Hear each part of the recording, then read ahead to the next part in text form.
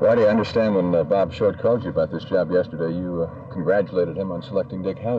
Well, yes, I had uh, been driven driven to the ballpark in St. Pete, and I'd heard on the radio that Howser had been named the Texas manager, and uh, Bob did say last week that whoever he decided on, he would get back to me. So when it was Bob Short on the phone, I thought that that is why he was calling me.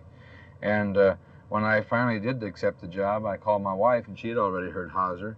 And uh, then I'm, I'm, leaving for Texas last night, and I get to the airport in Tampa, and uh, another farm director got off the plane. He said, "I want to congratulate you." And I said, "For what?"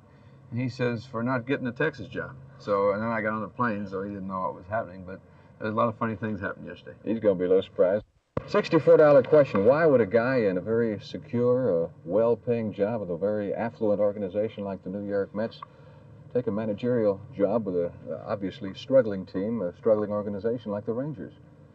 That's a good question. Uh, let me say, I, I, guess it's a desire to manage in the big leagues. Uh, I think everybody that's ever played baseball in the minor leagues or the big leagues wants to manage in the big leagues.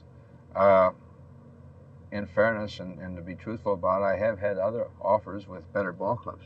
And uh, but at the time, I thought maybe I, it wasn't the right time for me to go, and uh, the Mets were awful good to me, and I was looking for security more at that time than I, I feel I have now. Uh, when this job was offered to me, and uh, they heard that I was in the running for the job, I've had uh, three other general managers in the big leagues, plus my own general manager, Bob Scheffing, who, by the way, has been very good to me, uh, say that uh, look, if, you, if it doesn't work out, you always got a job. So it's not that I'm leaving a job with, uh, if I get fired tomorrow, I got a place to go uh, with a lot of people. And I always feel that I could go back doing what I was doing. If I do ever, well, when you take a big league manager's job, you know, someday you're going to get fired, I'm sure, unless you own the club, you're Connie Mack. But uh, uh, I, am not worried about that. I, I'm not worried about security, and I just want to come here and do the best job I can. Have you seen the Rangers? I saw them in July last year, uh, and I course, I was in, I live in Kansas City, uh, Independence, Missouri, but I was in uh, Florida by the time they ended the season up there, so I did not see them that last series, and uh, I realized the last 15, 16 games they didn't play too well.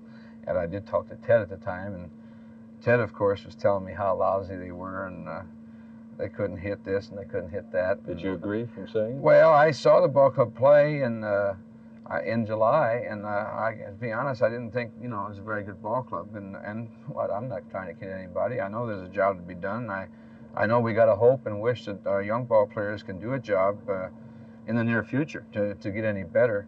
And uh, my hope now is to make this ball club uh, competitive and to teach our young players and help them get better if the ability's there. And uh, I think if we get the utmost out of their ability, I mean, no uh, qualms can be asked about anything. That's all you can do with that wherever you're at.